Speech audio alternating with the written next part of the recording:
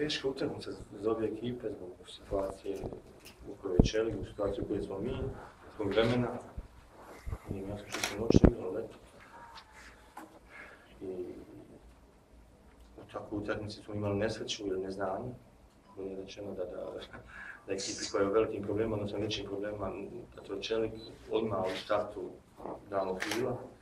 I nakon toga je jako teško bilo igrati. Mi smo imali sreće se vratio u početku drugog vremena. Vjerovatno smo mi bili, bili, bliži pobjedi, pogotovo na kraju kad su igrali s igračem, s igračem manje, ali ne mogu reći da je, da je rezultat nerealan. Ja smo imali više šanse nego onda.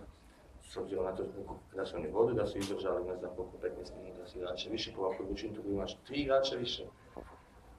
S obzirom što, što znam kakav su pritisak imali zbog rješavanja u i oko kluba, i pored toga nisu na nesportski način pokušavali doći do pobjede, na čemu im čestitam od, od srca.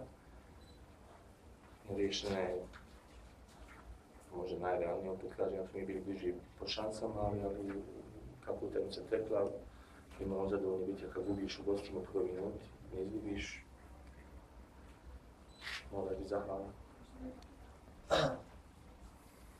Imao neki pritisak, hajde da kažemo da moraju dobiti utakmicu, međutim ispade ono najgore po, po obje ekipe da je završeno neriješeno. U ovom momentu moram da kažem da je da smo mi, ekipa Čelka na kraju, morali biti zadovoljni s ovim bodom jer smo igrali sa, da kažem, 15 i 4 minute nadoknade, 19 minuta sa igračima i po ovom vremenu. I moram da čestitam sve ekipi na borbenostom zalaganju koji su pružili 90 i nekoliko minuta.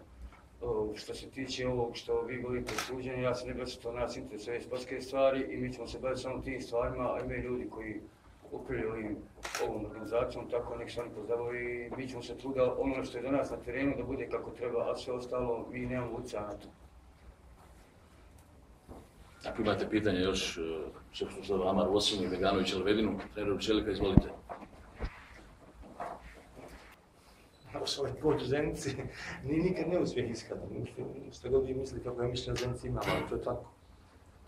Pogotovo kad se znao kako je situacija Čelik bio. Ako se vidi, ako gledamo na način da, da tu ima zadnjih 15 minuta plus 4 igrača više, da je Čelik sporno bio pao i da smo mi bili jako blizu da bi gol možda jes neuspjeli, ali nisu ni u nekoj sjajnoj situaciji psihološkoj pre utakmice, se to iz broja bodova, tako da nemamo mi sad pravo pretredno da ćemo doći ovdje i, i, i ponašati se suvereno i, i razbiti Čelika koji ima probleme, iskreno to se teško mogu očekivati. Nekakav želju u nekoj normalnoj situaciji, imamo bolje psihološko pod nas možda, ali, ali, ali ne, ne, ne možemo doći ovdje mi lohotni kakvi smo bili i, i, i dobiti čelika kojim drugi po nogama lagano.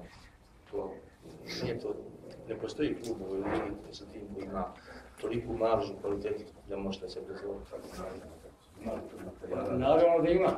O, kad se posluže stvari sve koje nisu trenutno poslužene u klubu, naravno da će to biti malo bolje i da će to, o, da kad uzmemo da smo danas imali, da smo viće ostali bez Kurča koji je bio standardan igrač, koji je otkazao, o, znači danas pred utakmicom da je imao temperaturu i smo računali igrali sa Kurčem i odjedno morate imati utakmicu, znači mijenjati ekipu pred samu utakmicu, onda je to malo, ajde da kažem, pet za nas, ali uvijek se mora tražiti rješenje u ovom momentu koje su imali najbolje.